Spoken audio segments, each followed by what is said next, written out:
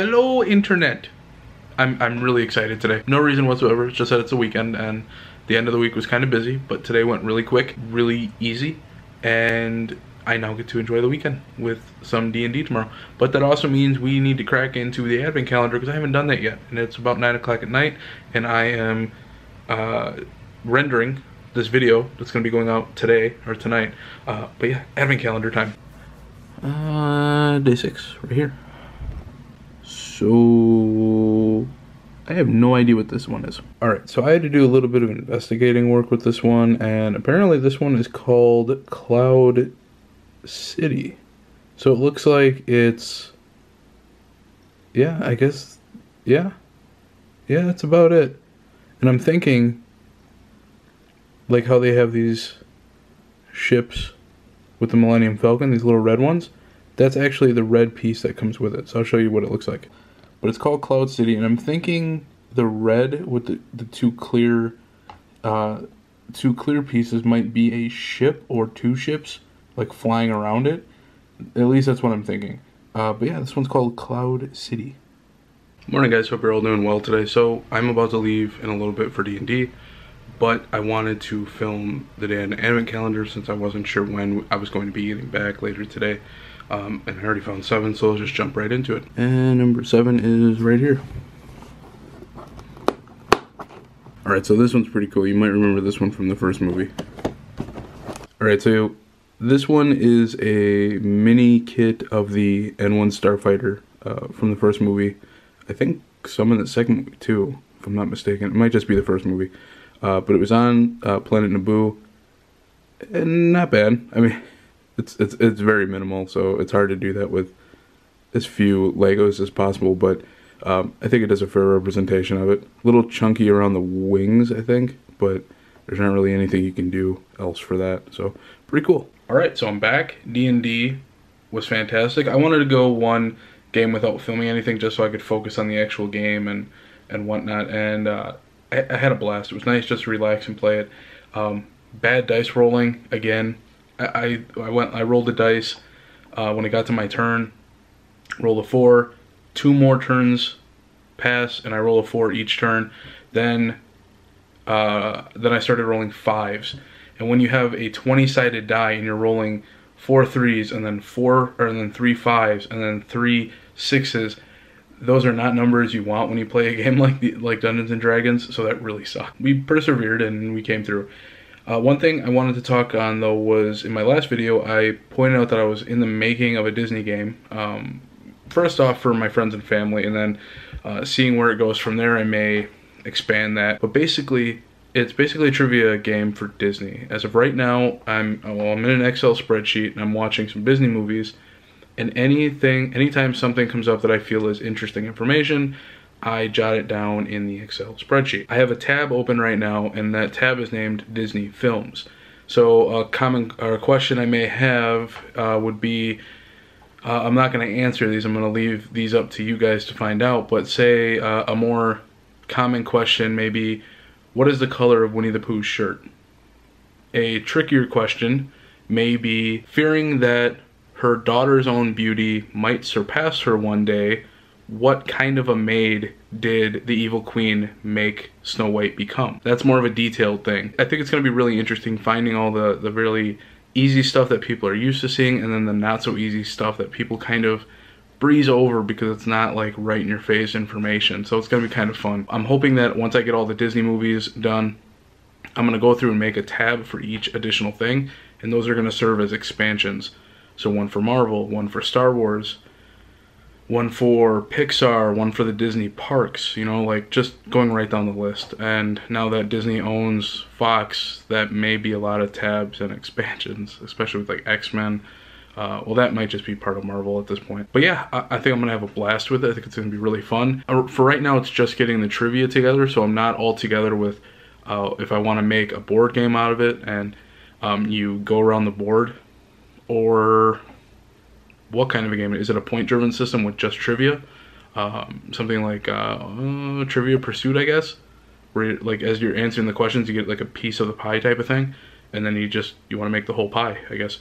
I don't know. I'm still experimenting with ideas on what i want to do with it but i think making a game like this can be really fun Uh, and I encourage everyone to go out there and uh, make a game of your own. You can easily go on websites um, and find tokens to, that you can buy in a bunch that you can use uh, for a first time game or a board game that you want to just make. Put some cardboard together, spray paint it, put some uh, spots on it, spaces on it, buy some tokens, just make a game uh, and enjoy it. I think a lot of games that you guys end up playing, both the popular and not so popular games, that's exactly how they start out. They start off as something that you could just make in your house with some cardboard and uh, some paper and pencils and stuff, and they expand into what you got now. So I think it's really fun, and, and again, I encourage everyone to go out there and at least try it once. All right, so it's actually Sunday now. Um, did a whole bunch of stuff in the game yesterday and ended up passing out watching some ASMR in my computer chair, so I went to bed right away without filming an outro. Uh, but two things, and I will get to the second thing after we do the first thing, which is the advent calendar. Day is the 8th and it's right here. Cool. Oh, this is cool. You might remember these droids from the first movie um, on the Battle of Naboo. I love these guys. They're kind of dumb droids, but they're cool. All right, so this droid, for some reason, is so light and very fragile. Like as I was putting them together, like some pieces just completely blew off, and I had to put him back on. Like he's really fragile compared to this one. Like this one's actually a little bit heavier, but they they don't have many pieces like in comparison to each other. So I'm not really sure what the difference is. Maybe because he has the extra gun and he's a little bit taller, but this one is really really light. But it's cool. I like both of them. All right, so the second thing, and I'm gonna try explaining this while also watching football. But the second thing had to do with the games. Last night I just barely touched on the idea of it and what I was thinking about doing. Well, then it hit me last night while I was trying to uh, brainstorm and come up with ideas for it. I'm gonna take the uh, some, a little bit of each thing that I like of all of the past board games or tabletop games that I enjoy, and see which ones I can mesh into this and see which ones work well with it.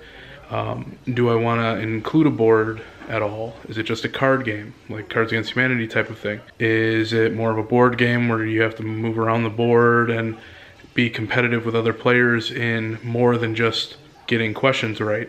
Like maybe you're building a picture, maybe you're uh, getting points that add up to something. I don't know. But I'm, as of this point right now, I'm just brainstorming while also watching the movies and getting any information and trivia that I can. As of this point though, I'm just sticking to Disney movies. I'm not sticking to, uh, there are old school ones like um, The Love Bug, um, I'm trying to remember some older ones like Steamboat Willie. I may do some of the old cartoons, but I'm trying to stick to just the basic movies right now because that's what most people growing up have watched. They've watched 101 Dalmatians, Snow White, Sleeping Beauty. I'm trying to keep Pixar out of this for right now, so no Bugs Life, no Toy Story, stuff like that. They may be a, that's definitely going to be more of a uh, expansion down the road. So I get, I hope that gives you a little bit of idea of the brainstorming going into this whole tabletop game thing. All right, so I'm about to go to bed for tonight, uh, but I was just finishing up Snow White and the Seven Dwarfs, and I, I got to thinking about how many questions were actually going to be in this, because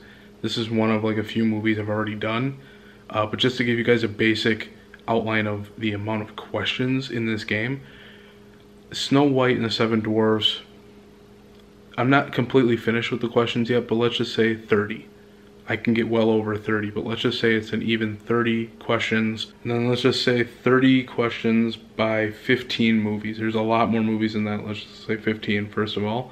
That's 450 if I go 20, that's 600 questions. That's not including any questions about the Disney parks, any questions about Pixar films, about Marvel films, about shows. That's a lot of questions. This is going to be a very, very detailed game, but it's also giving me a chance to rewatch a lot of the movies that it's probably been a year or two since I've watched them, and I really miss them. So, uh, Snow White, and Fox and the Hound were uh, this weekend. I'm thinking that my goal is going to be to watch at minimum one Disney film per night and the questions. This way I should have a majority of the questions done within the next few weeks, if not a couple weeks. So fingers crossed. But that's going to do it for tonight. I will see you guys tomorrow. It's a new day. Gotta do the advent calendar. Right here, nine. I think we got some kind of a ship. Yeah, I was gonna guess like a rider, like speed bike of some kind, but it looks more like a ship. Yeah, let's build it and see what it looks like. In all seriousness, I have no idea what what this is. I don't know what I just made. All right, so first off, apparently I had this thing backwards. That clear piece is mainly just to hold it and stabilize it so it doesn't fall back like completely back. But apparently this is Grievous or General Grievous's ship. Um, yeah, I uh, would not have guessed that. Oh, it's about that time to hit the hay and get some sleep. I am tired. Uh, watched the rest of Snow White tonight. Got some more info on it, some back back uh, some backstage type info for some questions. Um, and I think tomorrow is going to be Cinderella and Sleeping Beauty. I'm going to try and knock off the really old school Disney classics and then start to get more in to a lot of the, the 90s ones that I, I really grew up with. But yeah, uh, I'm going to get some sleep tonight. Tomorrow um, is going to be doing a bunch of paperwork stuff for work instead of actually going out in the field because it's freaking cold tomorrow. It's supposed to get to like 6 degrees. But yeah, thank God I don't got to go out in that. But I will see you guys tomorrow. Done with work for today. Time to relax. Uh, one thing before we get to the admin calendar. Uh, I just got home not too long ago, but I started on working on some of my uh, Lego stuff that I had still packed away that I didn't really get out. Uh, so I wanted to organize some of that stuff. And I couldn't find the manual that told you how to make the stuff anymore. I still have them, it's just that they're packed away right now and I don't want to go through all that stuff just to get the manual. I wanted to see if they had manuals online that you could just look at. So I typed in uh, Lego manual online and actually they do. The Lego company actually has on their, I think it's part of their support page, uh, all of the building instructions as a PDF download, which is really helpful. So if I go to building instructions, and one of my files, I believe was 21115. Yeah, the first night Minecraft. So if I click on that, click search, and there you go. Uh, I'm not really sure why it gives you two different versions. One might be European I think, and the other one may be the US one. I'm not really sure. Uh, but it tells you like what year it came out, the name of it. It's got the number right here, what series it's part of. This one would be Minecraft. Then you just click on it, go to download PDF, and there you go. It gives you a little PDF to download. And if you click on it and open it, it gives you the full instructions. That's really helpful. I'm especially going to need this when I go back to a lot of my older sets from like 20 years ago that I may not have the instructions anymore, but yeah, this is really helpful. Speaking of Legos, day 10. Where is day 10? There it is. Uh, this one looks like a mounted gun of some kind. So yeah, this thing definitely is a, uh, an, like an anti-aircraft or gun turret, uh, turret type of thing. Not really any specific thing about it. It's kind of just like a miscellaneous uh, type of thing, but it's actually really cool because this actually works, and because of the compression of how this piece is placed in the cannon, uh, it actually has some pretty good power to it. Let's try it out. Oh, lost that piece. I'm really digging making this game right now. I think mainly for the fact that all of my research revolves around me watching Disney movies.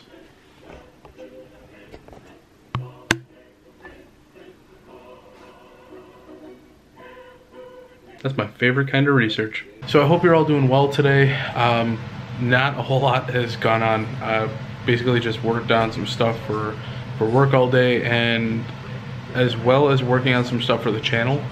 I have some stuff that I uploaded today, uh, some stuff I'll upload tomorrow and for the rest of the week.